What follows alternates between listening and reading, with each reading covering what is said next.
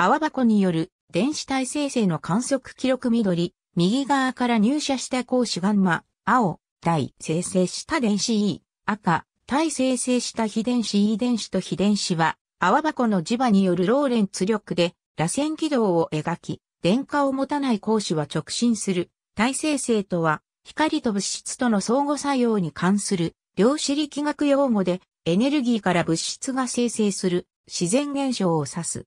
逆反応は、対消滅。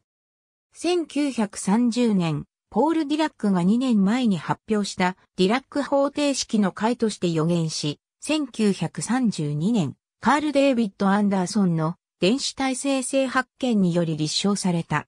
その後加速器実験により、各中間子やミュー粒子、陽子についても観測されている。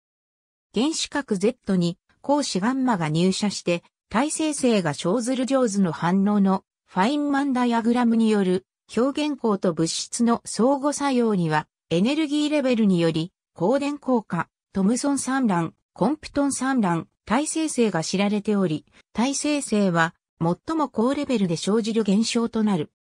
耐生成に関わるエネルギーレベルの光子とは、ガンマ線を指す。これが原子核などに入射すると、相互作用により、運動エネルギーを失うが、これは特殊相対性理論でいう静止エネルギーとなり、体生成を確率的に発生する。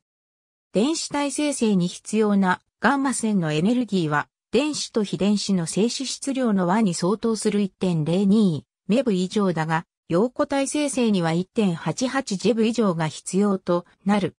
高エネルギーのガンマ線を得るのは困難なので、現在陽子を20ジェブ程度に加速し、原子核中の同じ陽子に衝突させて静止エネルギーを得る手法が取られている。原子番号が173を超える超重原子の計画の電子の束縛エネルギーは耐生成に必要なエネルギーを超える。もし 1S 軌道に電子がない場合は、ディラックの海にある負のエネルギー順位にある電子が、そのままのエネルギーで 1S 軌道に背にし、耐生成が起こる。この現象は、真空の崩壊と呼ばれている。ただし、このような超重原子は安定的に存在しないため、超ウラン原子核同士を加速して近接させ、瞬間的に形成される二次的な超重原子が放出する非電子を検出する試みが行われている。ビッグバン理論によると、初期宇宙では誕生から10秒後まで、種樹の素粒子が耐生成と対消滅を繰り返していたと考えられている。対不安定型超新星では、末期の構成中心で、高エネルギーガンマ線による耐生成と対消滅が高頻度で生じ、性のフィードバックによる高温が生じる。